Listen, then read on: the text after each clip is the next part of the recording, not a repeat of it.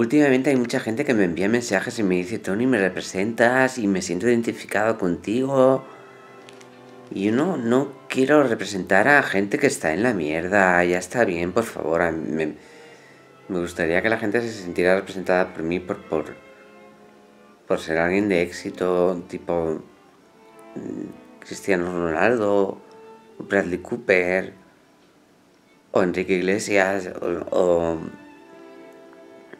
Pat Padilla, yo qué sé, o Lulogio. No. A mí me hunde también, porque me, me deja en una situación muy mala pongo esta pose rara. Me deja una situación... Tony, estás en la mierda como yo. Gracias a ti no he matado aún a nadie. Es que no... Joder. El café ya está frío, me estoy tomando un café desde hace un rato. por hacer algo.